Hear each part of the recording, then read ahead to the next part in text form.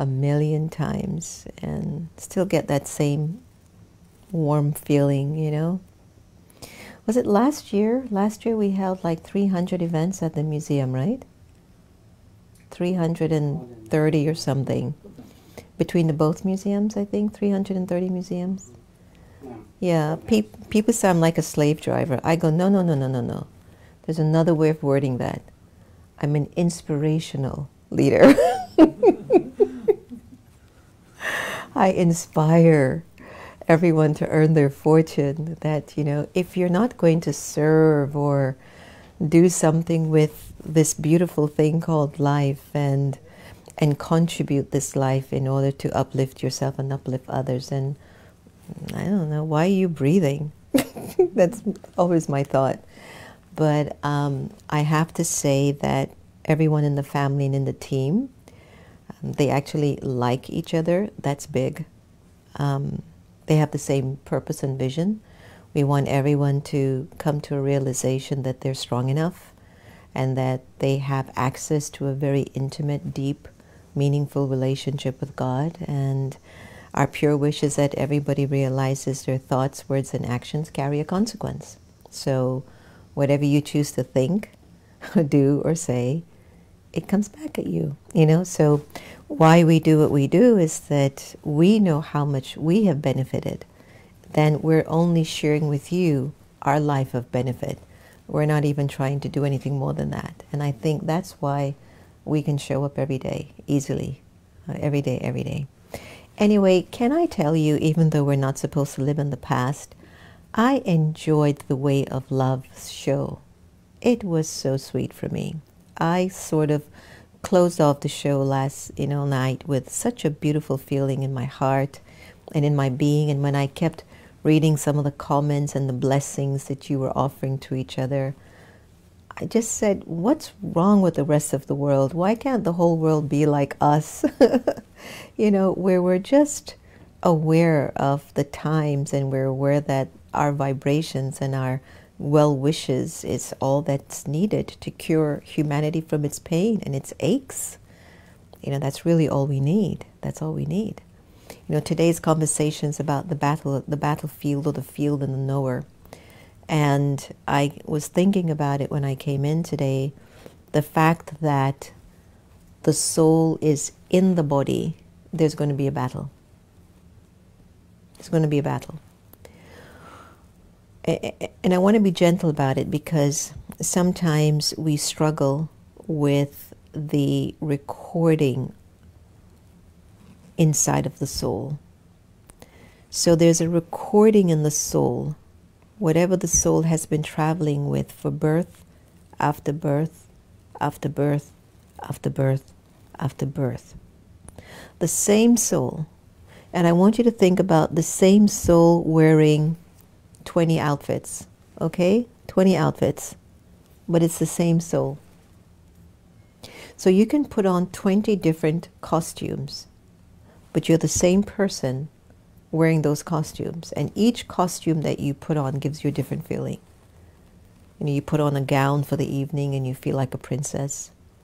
You put on a jogging outfit and you feel like you want to work out. You put on a professional suit like you're going for a job interview. You put on your regular clothes for work, work clothes, and you feel like you're going for a job. You put on some casuals, you're going by a friend's house. But it's the same soul.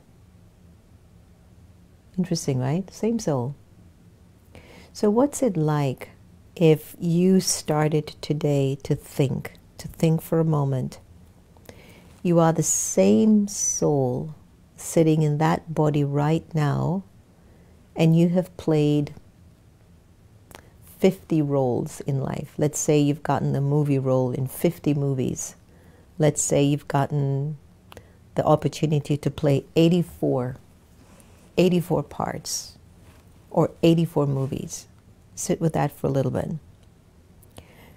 So, the same soul, you're the same actor, you now are carrying with you 84 experiences of movies. So, 84 movies that you have played in, you're carrying the experiences of those 84 movies. That's what I mean to say. same soul.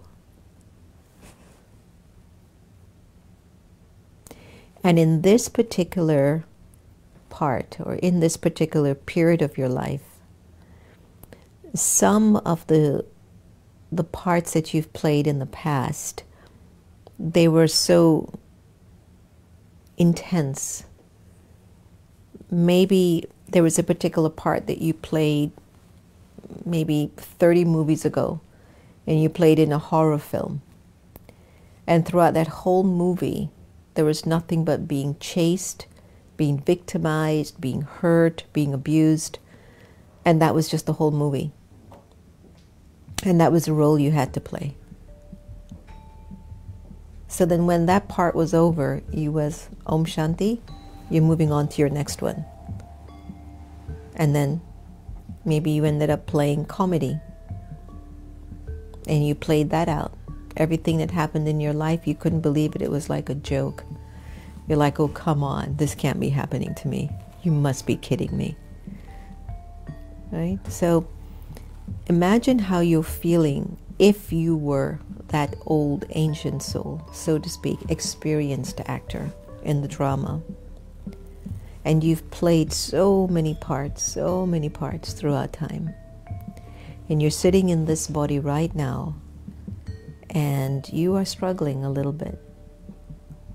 Not only with the memories of the past roles that you've played or the past births that you've had, but you're struggling with some of the memories that are still left behind, traveling with you. You didn't invite them to come with you, by the way.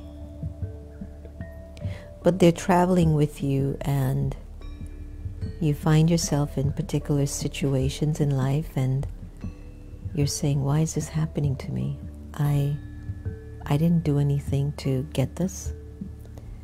And you look at your life and you you go back and you wonder where did I where did I manifest this? This isn't uh, I don't remember doing this. I, I don't remember ever saying this to, to make this happen, but, but it did.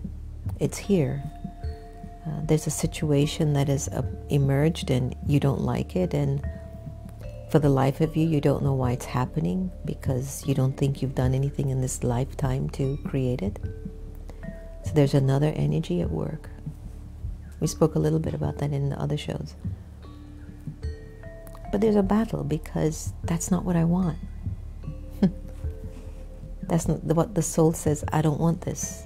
And the fact that you're in the body with these five senses, and these five senses are being directed by the soul that is carrying the experiences of all of those many lives or all of those many movies that it's being been played. Right now, at this particular point, the soul is looking for peace. It just wants peace. It's tired of walking with the trauma or the sense of victimization, or um, it's tired of walking with hate or dislike or fear or anxiety. It's tired of walking around with the feeling that I'm not enough, I'm not worthy, I don't have enough, it might be even tired of um, wondering when am I going to get a break? When am I going to be acknowledged? When am I going to feel like I've struck the jackpot? All those thoughts. Any thoughts that go against your peace means there's a battle going on. Once the soul is in the body, there's going to be a little battle. So imagine the body is like a battlefield. And once the soul is in there, whatever are those recorded karmas of the past, they will come up. And they will manifest in different ways with different people, with different things, different circumstances. They just, they have a way of just showing up and asking you, can you look at me? Can you, can you look at me and tell me what I want from you? This is how the karmas come. Like you sometimes you don't want to look at it. You know, sometimes you have to outsmart the enemy. You don't really know where to go because sometimes the enemy is so incognito You don't even know where they're trying to fire at you. And then it kind of calls you just be fierce, just be bold, just be courageous, and look at me and let's see who draws first. There's this image in the Mahabharata, I believe, and you guys can correct me, when um, Ravan, right? Uh, who, who, who, is it? Duryodhan? Okay, so so there's a battle going on. No, you ha- guys have to help me. I did no bhakti. It's whatever I studied, and I have to be sharp.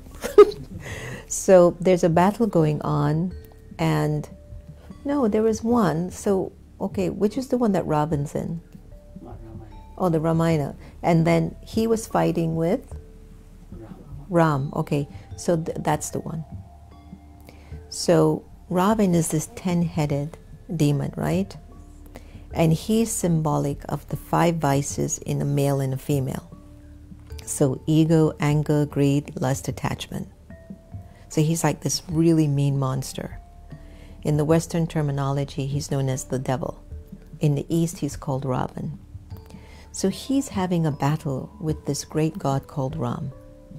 And when you watch the story, in whether it's an, in animation or just in regular film, you will see this particular scene, and I want you to always remember this.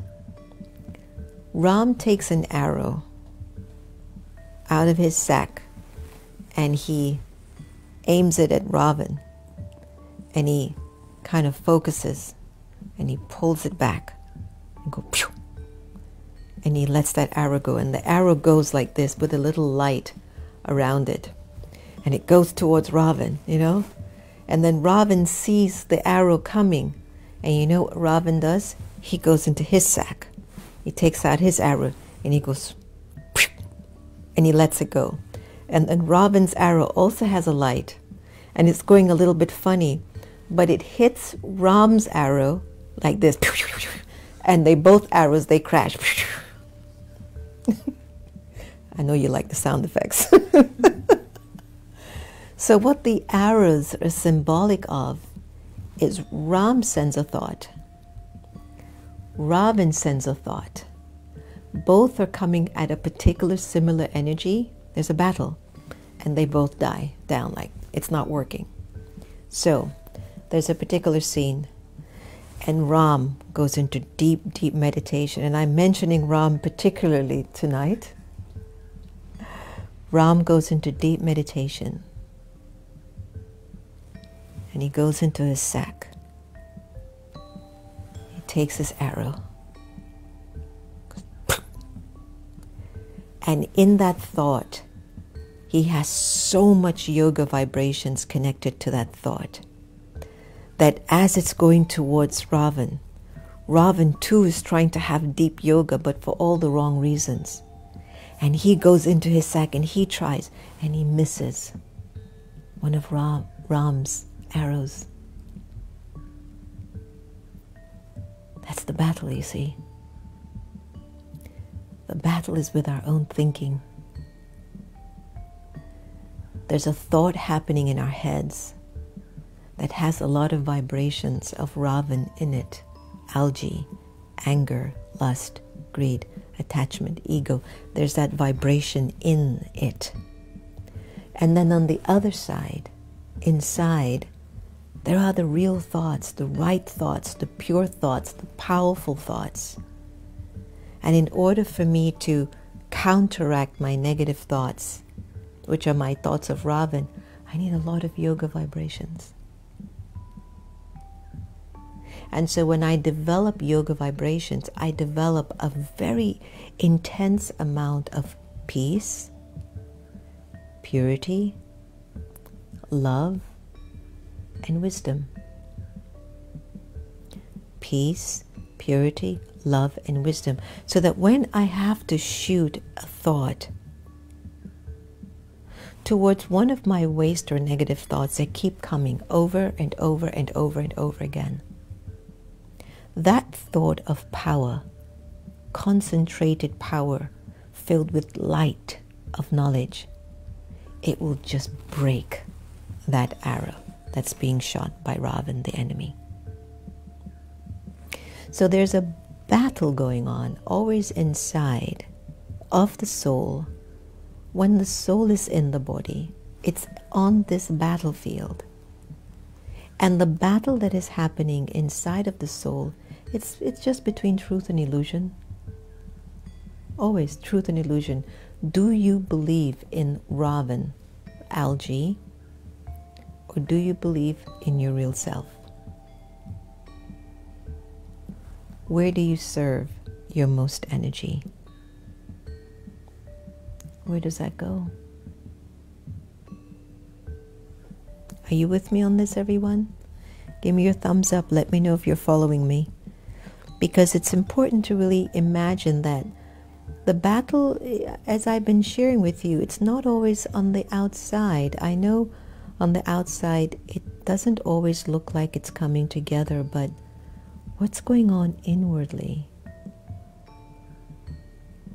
How are, how are your arrows being shot to each other? And is there deep tapasya, deep yoga vibrations in your pure and positive thoughts so that it can totally break up the negative or waste thoughts that are trying to shoot its way inside of your world in in your in your kingdom. Let's go into a little meditation and see if we can just kind of observe a little bit how we can break some of our attachments just for a little bit and and think about some of the ideas I just shared about you know to what extent have I really strengthened the positive energy in my mind so that I can counteract all of this negative patterns of thinking and break those arrows of negative thoughts break them down forget them disseminate them erase them absolve them. We can do it if we're detached. Let's go into a little meditation.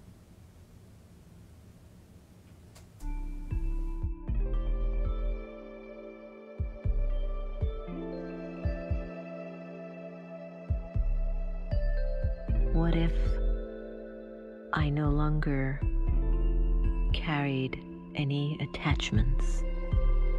Attachments about who I think I am or how someone else perceives me or attachment to my country or my gender, attachment to a religion.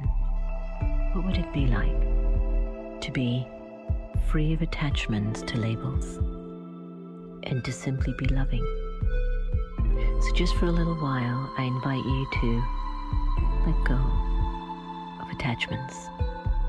What if I was no longer attached to my name? How does it feel? Let go of your attachment to your gender. You're no longer a man or a woman. Let go of your titles. Let go of your nationality. And experience yourself letting go of even your religion. Now let go of your body. If I don't have a name, a gender, a title, a nationality, a religion, or a body, then who would I think of? And who would think of me?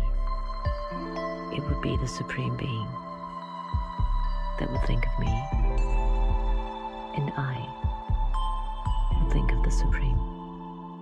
In this meditation, I invite you to sit in an experience of unlimited freedom in real inner power. Now, gradually, observe how the soul feels as it puts back on the awareness of the body, nationality, the religion, the title, the gender, bring through these labels your experience of being with the divine.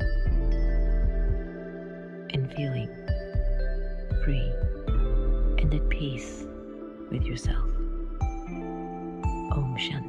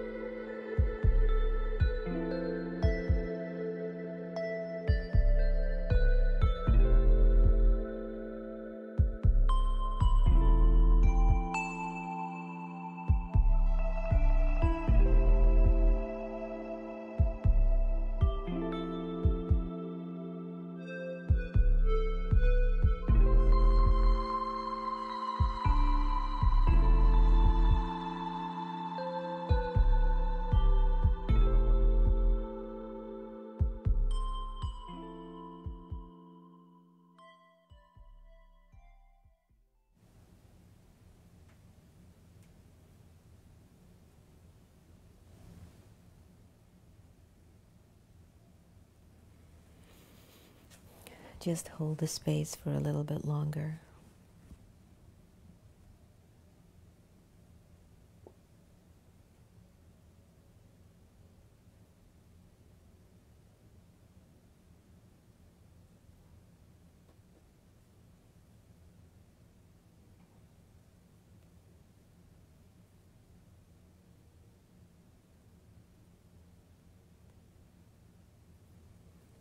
Take a deep breath in and exhale. And just for a little while, watch what thoughts are entering the screen of your mind right now.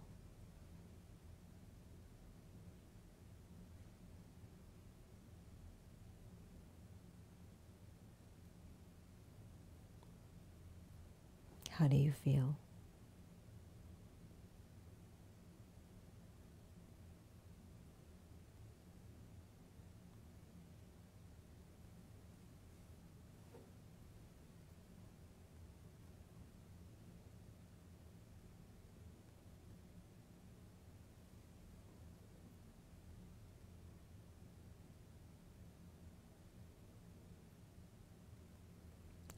Is the battle over?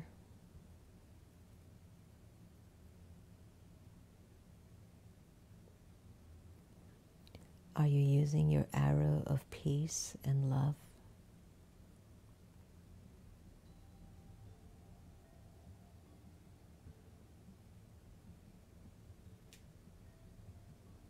To make Algae surrender?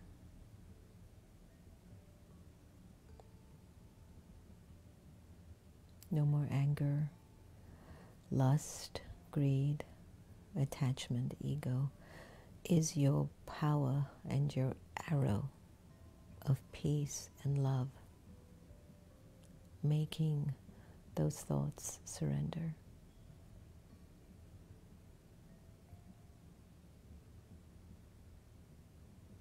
Can you feel it?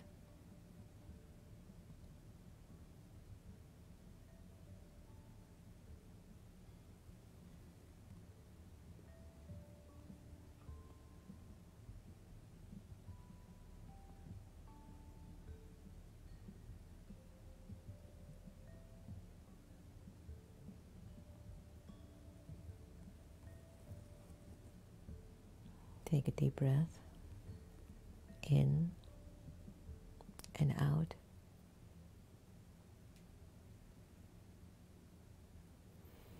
Breathe in and out again.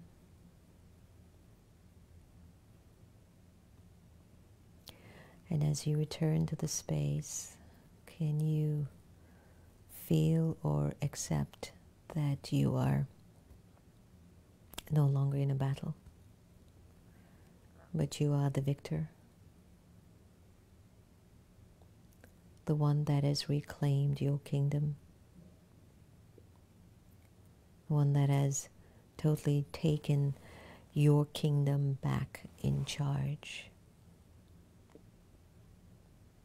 And even though you're within, you're in your body, and this is a continuous battle, there are so many moments where you claim victory on your battlefield. Those times where you could have been the worst version of yourself, but you chose not to be that. You stood strong and you said, I'm not going to say it that way. I'm not going to do it that way. No, not anymore. You're showing up in a completely different way. Right? So let's take a look at some of your queries and thoughts for this evening. Portia, Om Shanti. Brother Ram was remembering you on the video today when you were in the uh, service video for the Meditation Museum. So, yes, Portia, love conquers all. Yeah, love conquers all battles. Now, as simple of a point as that is, it is so true that when my love is really true, takes care of everything. But the moment that love has attachment in it, or a little bit of ego in it, it changes. It not only changes the intensity of the love, but it could almost redefine your interpretation of love. Then you start to say, but my love has conditions. Love doesn't have conditions, even if it's yours. you can say that your love has attachment, so I now hold conditions in this relationship. Now that's a different way of communicating. That would be accurate. But you can never say love has conditions. It doesn't. It's like saying there are parts of the sun that's not hot. That's not true. Love is unlimited. Love is unconditional. Love is always flowing. And so, if we develop the quality of love that we need to develop for the self, even if issues are going on in our lives, we won't think it's difficult because the love will take care of it. The love will just be the best arrow to shoot at whatever is going on. I'll be like, I got this. I got this. The love has got it. You know? It's really powerful to think about. So, why Hill? Much metta from Belize. Welcome. I enjoyed my time in Belize. It was a wonderful time with Sister Hemletta and friends. Beautiful, beautiful country, Belize. Beautiful country. Mercedes Om Shanti from Peru. Lovely to have you on. Portia, we should have something that shoots love balls, not paintballs. I know what you're saying. Bryn, I'm glad that you're enjoying the message. Portia, again, great idea. Just show the love and everything will be okay. Nicole, congratulations on your Millionaire Summit. Um, I'm sure it was a grand success, so hopefully it all went good. So, Rally, Alika, um, yes, you shoot everything with love and truth because everything else is an illusion, yes. But the important thing that we must discern is that the reality is we have bought into the illusion more than the truth. So we have been feeding into the illusion for such a long time, for so many births. We've played so many movies of feeding the illusion that we don't even know what the truth looks like much anymore. That's why we need spiritual wisdom and meditation to help us to really sift through what is an illusion, what is real. We don't remember anymore. And so the more you sit in meditation with Baba, balanced with knowledge, if you're sitting in yoga or meditation with no wisdom whatsoever, I don't recommend it. Because where are all those thoughts going to go if you have no focus or no direction into how to navigate those thoughts? So make sure you have spiritual wisdom with you as you sit in meditation so it can be a little bit more clearer, you know. So um, Portia's saying we can get bubbles that blow love bubbles in a bottle. I'm all with you with bubbles, Portia. You know how much I love bubbles. I'm like a bubble queen. I love bubbles. So very glad to hear that. Yes, yes. So anyone else has any thoughts or questions they'd like to share? in tonight's show. I can go on Facebook and see. Does anyone have any like thoughts about what you heard in my explaining about how these thoughts, you know, the battle is here, but because the soul is in the body, the soul has attachment. So it's kind of, you know, pulling the energy of the negative because of the attachment. So you're fighting with yourself. But in reality, if you can use the most highest level of thinking on your other wasteful thought, it doesn't have any power over you. It won't have any power over you at all. So love is all that matters, Darlene Foster. Yes. Sudha, let love do it all. Yes. Yolanda, you have on an elegant silk coat. Looks Chinese. It's Indian. it's from Mebaz in India. Peaceful Warrior. Thank you, Nikki Wallace. Glad to have you. Hi, Sheila. All my friends in the Philippines. Lots of love. Great. Jerry Eitner. Om Shanti. Jerry Eitner was one of the first folks I met in Washington, D.C., and she has this wonderful thing called the Peace Quilt. And um, she does a lot of work for peace. I don't know if you still are Jerry, but it'd be so sweet to hear from you. Jerry Stringer, how lovely. We should play your um, Black Lives Matter video. If Santosh can find it, we can play it today because really all lives matter. But until we value the lives of, our brothers and sisters in black and brown bodies, where policies and laws and systems change, where they get the same equal rights as every other race, then we need to say Black Lives Matter. Okay? So this is not political. Please don't even say political. This is about human survival. You know, this is about if I can't respect another child of God, then there's no way I'm respecting myself. And right now, we've just got to stay very sharp in our thinking, or else we're going to be killed on this battlefield. What I mean by that is we won't use our own thinking. Once you stop thinking for yourself and stop being brainwashed by the way people disseminate information, playing on your weaker, your weaker sense of yourself, if you notice the media doesn't offer, mass media doesn't offer shows like this, have you noticed? Why doesn't the mass media talk about programs like this? How come they don't invest in programs like this that we're talking about? Why is it that you'll never see the main networks have a talk show like this? Or have a conversation like this with somebody? Why? Because it doesn't feed people the right energy. With this, people have a choice. With this, people feel good. With this, the economy maybe doesn't go into the hands of the few. With this, things flow. And they don't believe that an economy or a culture or a group of people can survive if everybody's okay. They believe that if they keep a certain group of people down and negative and in a low vibration, it will stir things, and some people will make it and some people just won't and they believe this is how the society and the system is supposed to function. And what God says, but that's not the way I sent you all down there to behave. God says, I've given you an inheritance. For all of you, you have the same amount of love, peace, truth, power, and purity in all of you. But you all have shifted it. You've changed it. And now you're fighting with each other. But in reality, you're fighting with yourselves. That's why you're fighting with each other.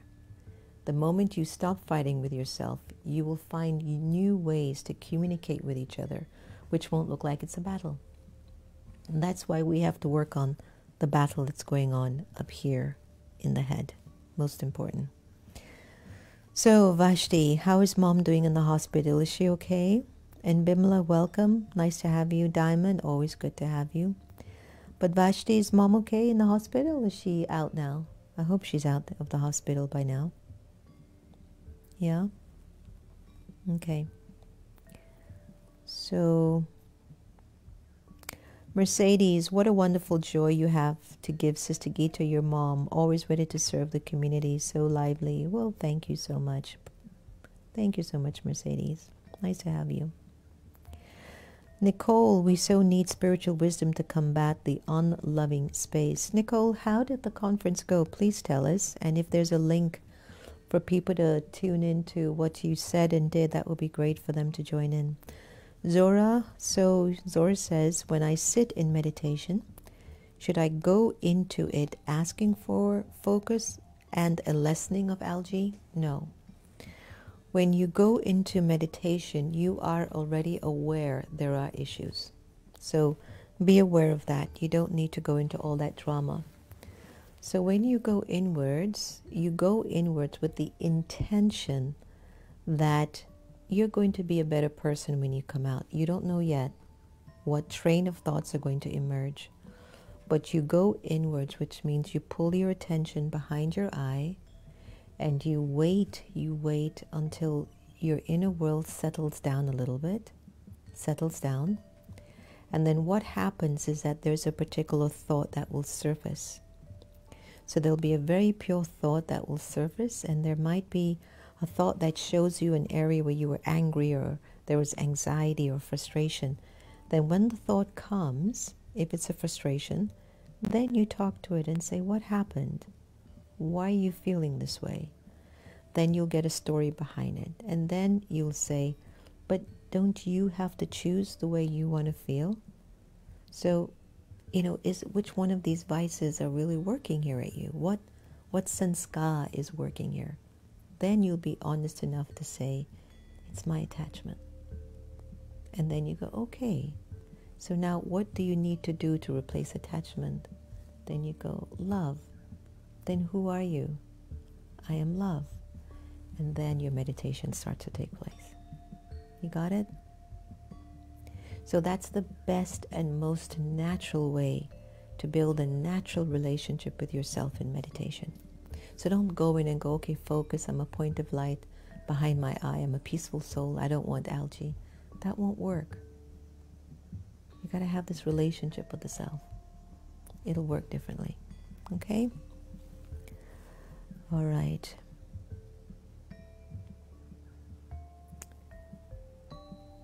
Yes, Portia, I believe it's the best program on the air in America. Portia, how are you? You've been okay? Everybody, don't we love Portia when she comes on?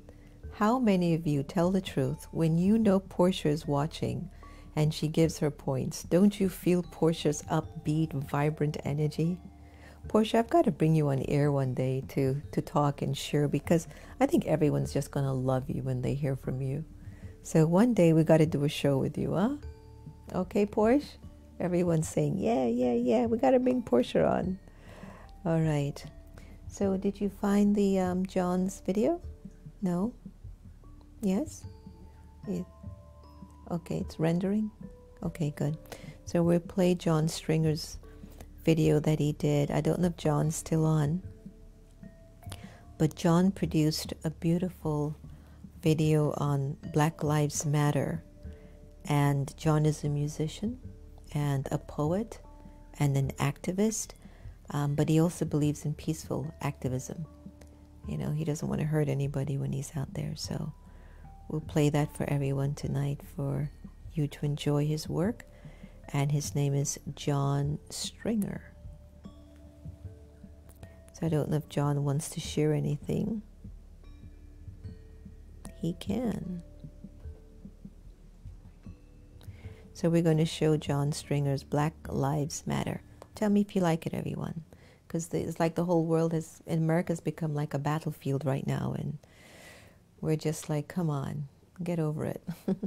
I'm not the color of my skin, I'm a soul within. Enjoy.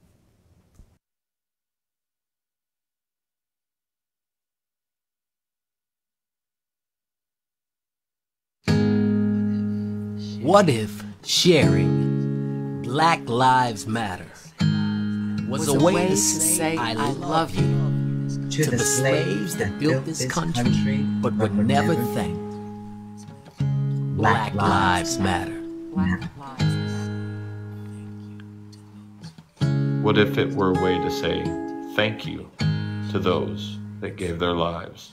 To bring equality in human relationships, in civil rights, in education, in economic opportunity.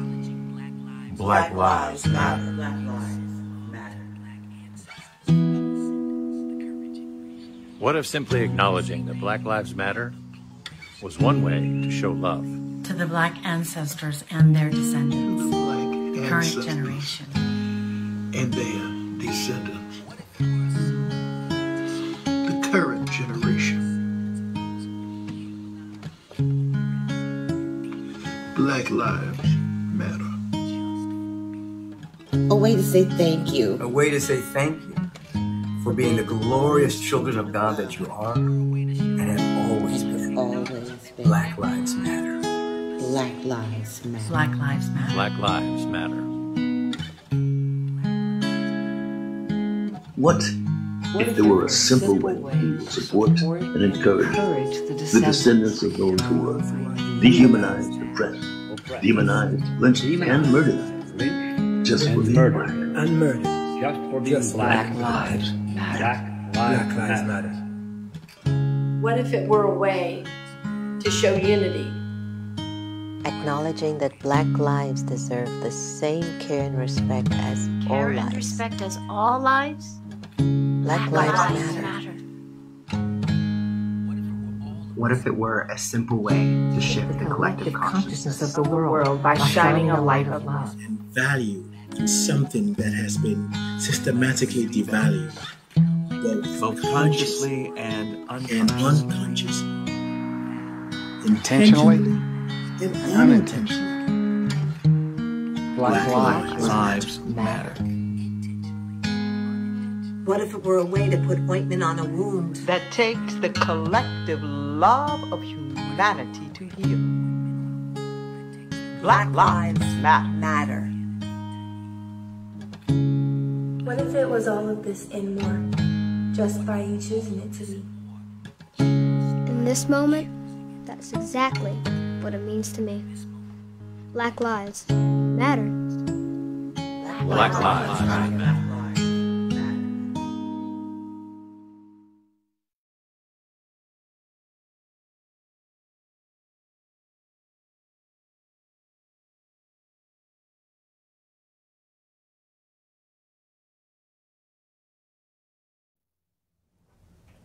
How did everyone feel with that video? John Stringer, you outdid yourself with that. It was, you know, it's an amazing video, wasn't it, everyone?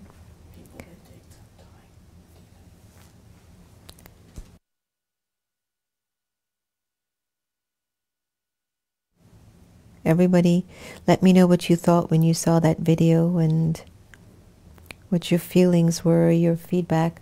I'd like us to end the show for in silence and just in prayer and meditation to all those souls that have um, their lives were cut short as a result of uh, just ignorance, poor sense of judgment. Whether it's a poor sense of judgment by, by a police officer or someone with the in the body of a white person. Remember, you're a soul, and you might be in the body of a white person, but you won't always stay in the body of a white person. So, to me, racism is such a waste of energy and time. It's just it's all karmic, and uh, you know. Marissa's asking where she can get the video. I think you can go onto John Stringer's YouTube YouTube channel if you type it in then um, Marissa, you can get it on John Stringer's YouTube channel, I believe, or uh, just Google John Stringer Black Lives Matter, and it should come up, and you can post it and share it far and wide as much as you'd like.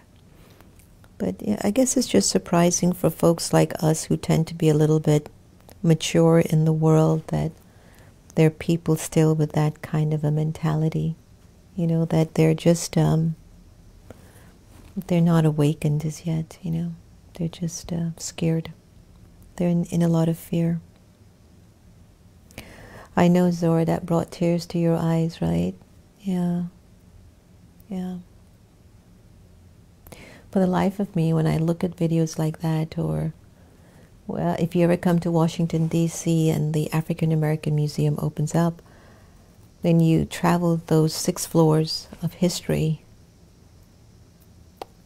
Uh, any race would look at the African American race and say, where did they find their strength and their resilience? They should have become extinct with all that they had been through. But they're not. They're educated, they have ethics, values, they're running major corporations, they're leading the world. And I don't know why anyone would think that they're less than because just ignorance. So, drama. just the drama. All right, so we're going to close off with uh, meditation and prayer. And love is a universal language, Asmita, irrespective of all differences, yes. Yes. Yeah, I was privileged to work on that video and to get a lot of the people in that video for John, so I'm glad that um, Sandy Hoolan, who I met in Orlando last year, um, brought us on board to help with co producing that. So we're very happy about that. We do whatever we can to help in social shifts and changes. We might not be on the streets marching and giving out flyers and all of that, but I can assure you we're doing as much, whether it's behind the scenes on calls with organizations, with companies, with groups um, initiating conversations, changes, policies. So know that even though we're a little meditation museum and group, we don't stop there and just sit and think and meditate all the time. We also bring the truth and the power into action to initiate change. So let's do some meditation together and can we send our best wishes? Um, Santosh, do we have a, so sorry, face of God? Yeah, we play that.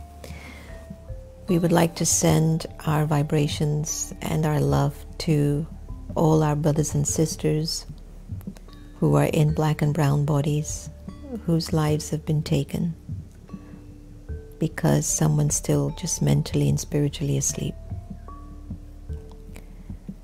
And whether they're getting directions from the top, they're still asleep mentally and emotionally and I think what I'd love out of our meditation is to somehow send that vibration to the powers that be who think that the more they take the lives of brown or black people to numbify a community or to disempower a community, the weaker they get as people in the eyes of the world. But that they're also killing their conscience to such an extent that it'll be hard for them to feel God when they need God the most. So our prayers go out to them, to the defenders and the offenders, the lives lost to all the Breonna Taylors and the Jacob Blakes and the George Floyds. The list is so long now. The list is so long. The battle continues. But we will prevail. We all will. Every one of us. We can't leave no one behind. Let's have a moment of silence and good wishes. Thanks for joining me tonight, everyone. Stay well. Let's give some vibrations.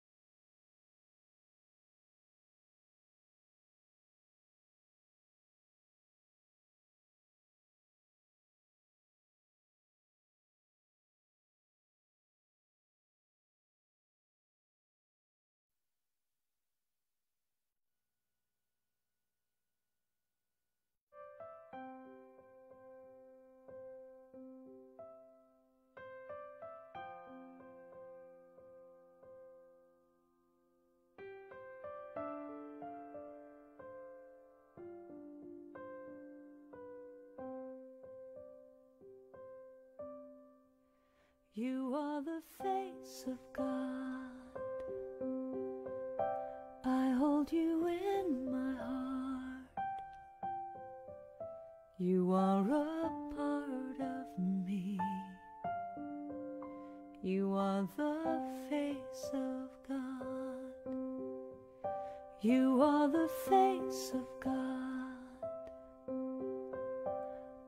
hold you in my heart. You are a